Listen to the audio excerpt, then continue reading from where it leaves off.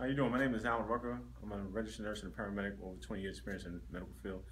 We're going to do a brief tutorial video on ST segment elevation versus ST segment depression. Now in the last video, the R on T phenomenon video, I spelled phenomenon wrong. Now, I wasn't going to say anything. I wanted to see if you could see if I did spell it right, and then, you know, you leave it in the comments if you caught it, all right? So every video, we're going to leave something out to see if you could catch it. So hopefully you'll watch another video. All right. So let's get to this. ST segment elevation. What you do, you're going to use the PR interval as your baseline of guiding you to see if the ST segment is higher or lower than it. All right. So in this ECG tracing, if you look, the PR interval is here. The ST segment is actually higher.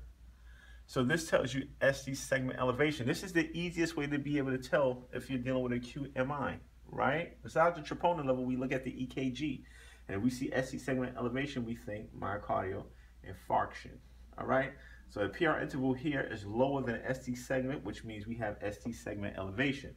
Now in an ST segment depression, which tells you myocardial ischemia, what we do, we look the same way. We look at our baseline. This is our PR interval, right? And the PR interval is lower because the ST segment is here. So it's lower, okay? So if we dot it over, we will see that it's actually lower. So we have an ST segment depression, which is telling us myocardial ischemia, okay? Let's do this one too, because some people are like, oh, prove it, I don't believe you.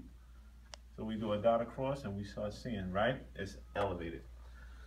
All right, so basically that's the gist of it. Use your PR interval as your baseline to establish if the ST segment is higher or if it's lower. All right, if the ST segment is lower, ST depression, myocardial ischemia. If the ST segment is elevated, then you have a myocardial infarction. Whether it's two small boxes, one millivolt versus two millivolts, the ST segment elevation is still an MI. All right. But the number of boxes can tell you basically if it's worse or not. But the basic just, if the ST segment elevation is higher, no matter if it's two small boxes, one millivolt, versus four small boxes, two millivolts, still up MI. We treat it the same. All right? Thank you for watching. Watch the description box for any contact information. Take care.